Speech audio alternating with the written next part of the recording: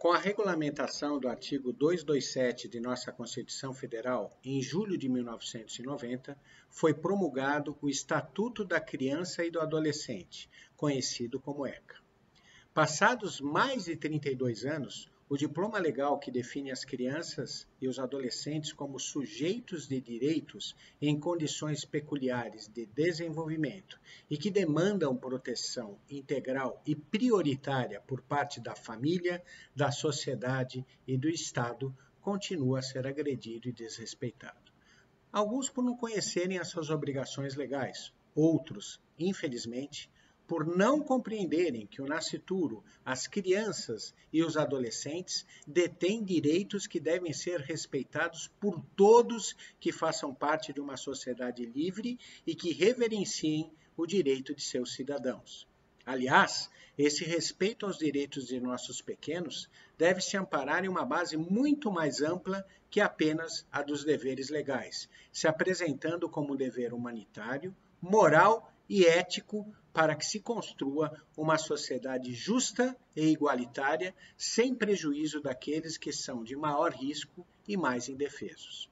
Se por um lado o ECA é conhecido e elogiado como referência mundial, dada a amplitude de seus preceitos e pela forma como intenta a proteção de nossas crianças e adolescentes, por outro, mesmo depois de tantos anos, ainda estamos longe de atingirmos a defesa plena de seus direitos em nosso país.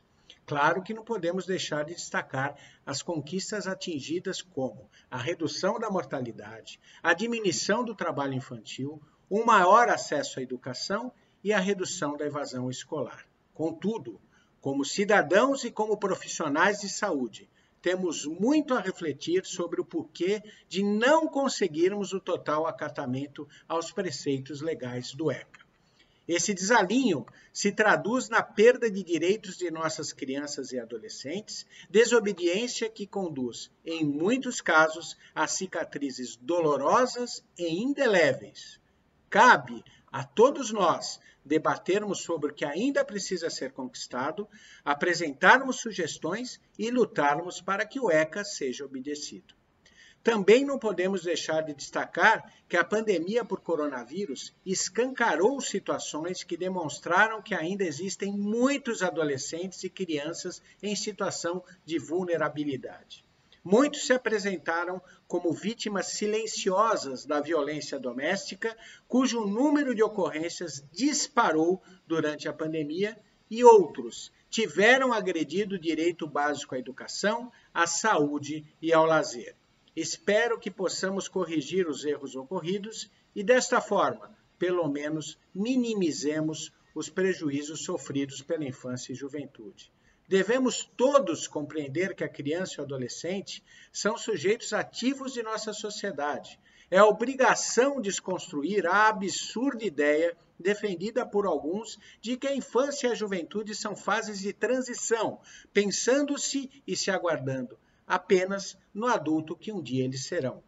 A Sociedade de Pediatria de São Paulo, SPSP, conhecedora de suas obrigações e sabedora da força de suas ações, instituiu a campanha Novembro Prateado Direito das Crianças e Adolescentes Somos Todos Iguais, com o intuito de discutir todos os aspectos legais de proteção infanto-juvenil e do nascituro, divulgando a importância do tema a todos que se preocupam com o assunto, em especial aqueles que trabalham com crianças e adolescentes, como médicos, professores, educadores e cuidadores.